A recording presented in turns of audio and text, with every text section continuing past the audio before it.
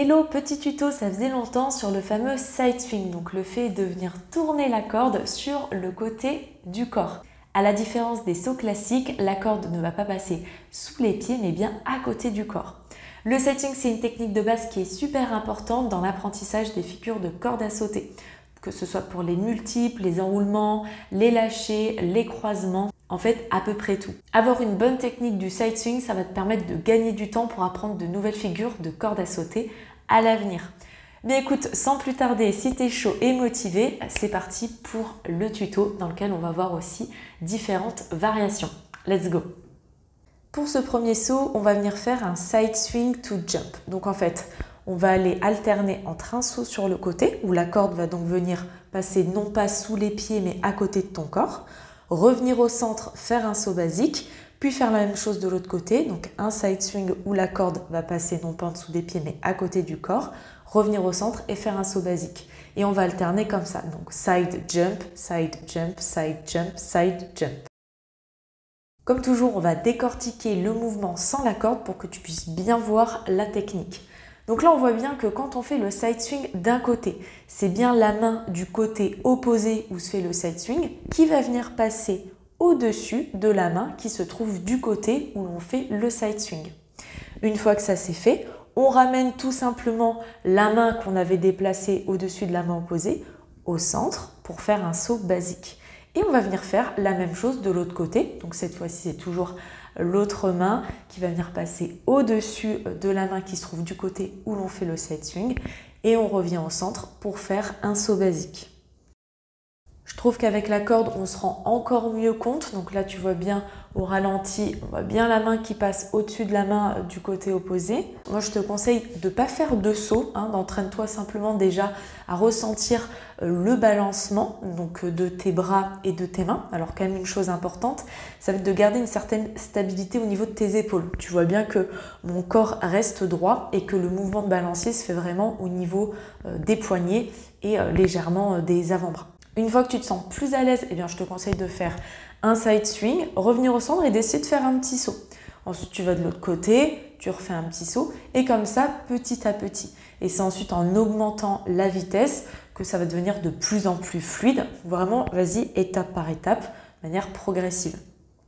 Là maintenant, avec ce deuxième saut, on va venir corser un petit peu. C'est-à-dire qu'on va venir enchaîner deux side swings avant de passer au saut basique sous les pieds. Donc tout simplement, tu vas venir faire ton side swing d'un côté et au lieu de revenir au centre, comme dans le saut précédent pour faire un saut basique, eh bien sans transition, tu vas venir enchaîner avec le side swing de l'autre côté. Mais la technique reste exactement la même. Et donc tu vas enchaîner side swing, side swing pour ensuite cette fois-ci revenir au centre et faire un saut basique.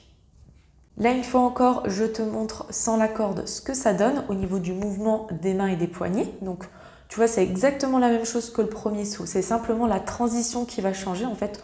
Donc si tu t'es bien entraîné au premier saut que je viens de te montrer, eh bien tu vas voir que c'est juste une inversion finalement, un déplacement des différentes étapes qu'on vient juste de voir. Donc au lieu de faire un side swing, euh, saut basique, side swing, eh bien on fait side swing, side swing de l'autre côté, saut basique. Voilà, c'est juste une inversion, mais la technique reste la même. C'est simplement euh, la transition, les transitions qui changent. Donc là aussi, tu peux t'entraîner à faire un side swing, le side swing de l'autre côté et à revenir au centre. Et t'es pas forcé euh, au, début de faire un saut basique. Voilà, là c'est simplement de bien comprendre la transition au niveau du balancement des mains et des poignets. Donc side swing, side swing, hop, tu reviens au centre, mais tu peux euh, euh, faire un two catch, donc accrocher la corde avec tes pieds. Et tu recommences, side swing, side swing, two catch.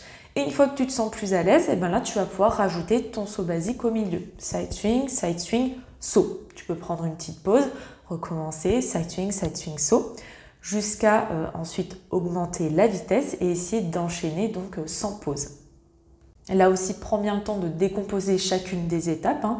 Ne squeeze rien parce que sinon tu vas te prendre les pieds dans la corde, ça va t'énerver et ça va faire qu'alimenter ta frustration. Donc vraiment décompose, prends ton temps et vraiment une fois que tu te sens plus à l'aise à une des étapes, eh bien, tu augmentes la difficulté petit à petit pour que ce soit de plus en plus fluide.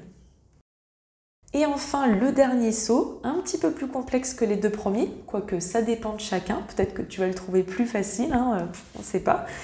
Donc là, on va venir faire un double side swing, donc un enchaînement de deux side swings d'un côté. Donc en fait, exactement la même technique que le side swing, sauf que quand ta main euh, se retrouve au-dessus donc de la main du côté où tu fais ton side swing, eh bien avant de revenir au centre ou de l'autre côté pour faire un side swing classique, eh bien là la main va venir passer en dessous euh, de l'autre main. Donc en fait tu vas enchaîner main au-dessus, main en dessous. C'est ça le double side swing.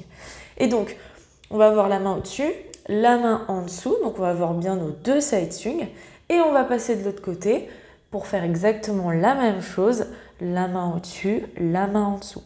Et donc là, tu vas pouvoir venir enchaîner double side swing, double side swing, saut basique au centre, ou tu vas pouvoir faire double side swing, saut au centre, double side swing, saut au centre, etc. Tu as bien compris que c'était juste une inversion en fait des différentes étapes. Après, c'est à toi de t'amuser avec tout ça. S'il faut l'appareil, entraîne-toi sans corde. Là, je te montre aussi ce que ça donne avec la corde. Et ensuite, euh, tu pourras t'entraîner en rajoutant vraiment de la dynamique et un petit peu plus de vitesse pour que ce soit de plus en plus fluide. Voilà, j'espère que ce tuto t'a plu. Le side swing, c'est pas seulement une transition pour avoir l'air cool, c'est aussi une base pour toutes les figures avancées de corde à sauter. Moi, j'adore ce saut, je m'en sers tout le temps et tu vas aussi pouvoir l'insérer entre différentes figures pour des moments de pause, des petits moments de break. Tu vas voir que tu vas le faire assez souvent et notamment avec les différentes variations. Donc prends-y du plaisir et expérimente euh, tout ce que je viens de te montrer. D'ailleurs, tu vas pouvoir l'enchaîner avec les fameux criss-cross, donc les croisés. D'ailleurs, si tu ne sais pas faire ce saut, je t'invite à aller voir mon tuto à ce sujet que je te partage là tout de suite maintenant. Et n'hésite pas à me taguer sur Instagram et à m'envoyer euh, tes vidéos euh, pour montrer tes exploits et tes progressions et que je puisse le partager aussi à la communauté pour motiver les autres. Sur ce, je te souhaite un excellent entraînement. Si tu as des questions, n'hésite pas en commentaire. Like, aime, partage et puis euh, commente si euh, ce tuto t'a aidé. Je te dis à la prochaine pour une nouvelle vidéo. Ciao